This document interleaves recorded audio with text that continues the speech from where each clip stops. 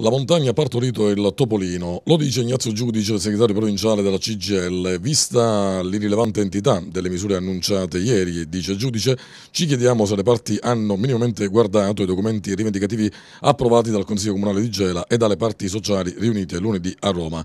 A noi, dice Giudice, sembra di no e per questo annunciamo la prosecuzione dei presidi i commercianti, gli studenti, i lavoratori, i disoccupati e chi più ne ha più ne metta non hanno manifestato per ottenere tre mesi di cassa integrazione pagati fra due anni, hanno manifestato per l'avvio subito delle bonifiche e del lavoro.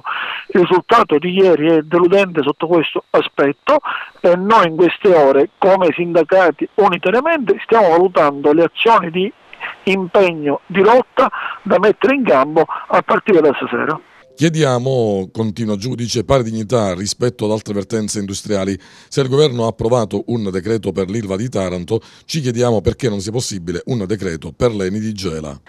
Questo è evidente e la politica a tutti i livelli, a partire dal governatore Crocetta, dovrebbe chiedersi perché forse i governi non sono così pesanti come il governo di altre parti d'Italia e questo è un problema serio che coinvolge il mondo del lavoro, coinvolge la nostra città e per questo chiediamo equità e giustizia al governo nazionale.